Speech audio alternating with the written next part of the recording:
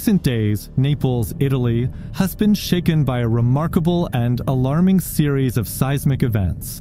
Over 600 earthquakes have been recorded in the Campi Flegrei area, a volcanic region also known as the Phlegrean Fields. This swarm of activity began on a Saturday, and it has propelled local officials and scientists into action. The tremors have varied in magnitude, with the strongest reaching 3.9, marking the most intense seismic activity seen in this area in nearly 40 years. Schools in nearby Pozzuoli have been closed indefinitely, and emergency shelters are being prepared to accommodate residents who may need to evacuate. The urgency of these precautions cannot be overstated. This level of seismic activity is particularly concerning given the volcano's historical patterns and its proximity to Naples, a city teeming with life and culture. These same patterns were seen in the latest big eruption. Here's what happened back that time.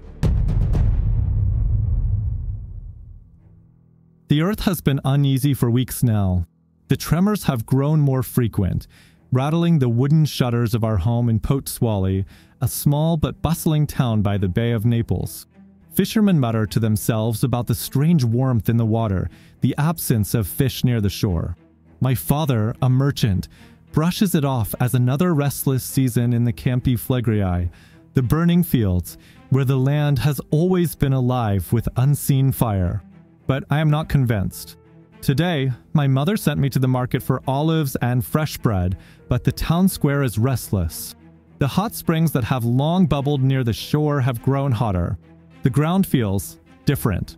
My feet tingle when I walk, and at times, it almost seems as if the earth itself is breathing beneath us. We wake to the sound of something shifting beneath the earth. The tremors are stronger now, more insistent, like a giant turning in its sleep beneath the soil.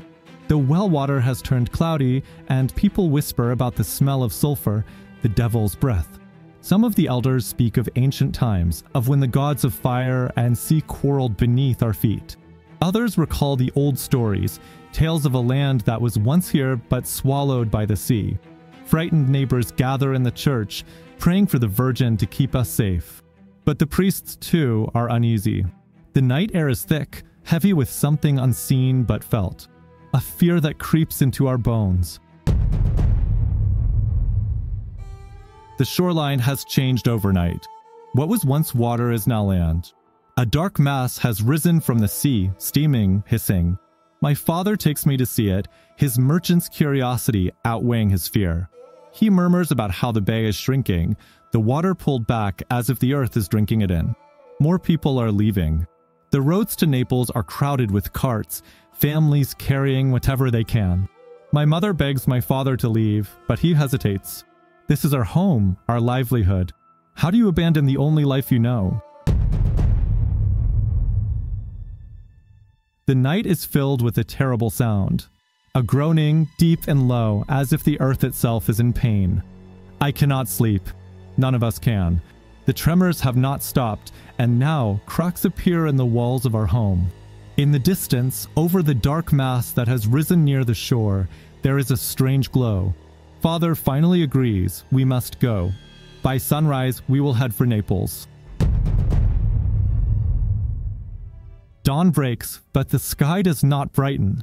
A heavy cloud, dark and terrible, spreads over the horizon. The air is thick, choking with ash. I clutch my mother's hand as we hurry through the streets, my father ahead of us. Then, the ground shudders violently. A sound like a thousand thunderstorms crackles through the air, and behind us, the sky erupts in fire. The sea foams and surges, the land itself splitting apart. From the dark mound near the shore, fire and rock burst forth, raining down upon the fleeing town. Monte Nuovo is born in fire and fury. We run. We run past the church, past the market where we bought our daily bread, past the dock where my father's trade ships once arrived. But it is all disappearing, swallowed in the choking storm of ash and stone. We do not look back. We reach Naples by nightfall, covered in ash. The city is filled with others like us, refugees with wide eyes and sooty faces.